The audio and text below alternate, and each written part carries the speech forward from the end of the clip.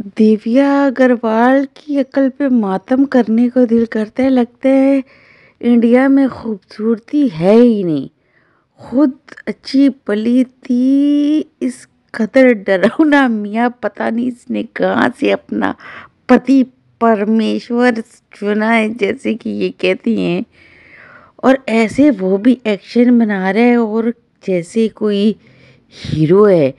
मतलब करीब से देखो तो बंदे का देखने को दिल ना करे। लेकिन इन्होंने कौन सी परमानेंट शादी करनी होती?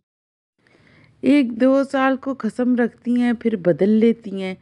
लेकिन बहरहाल, जो भी देखो, इसने बहुत ही अजीब व गरीब शायद पैसों के लिए ये कर लेती हैं। बाकी खा पी के ठग ठुक के छोड़ देगी उसको।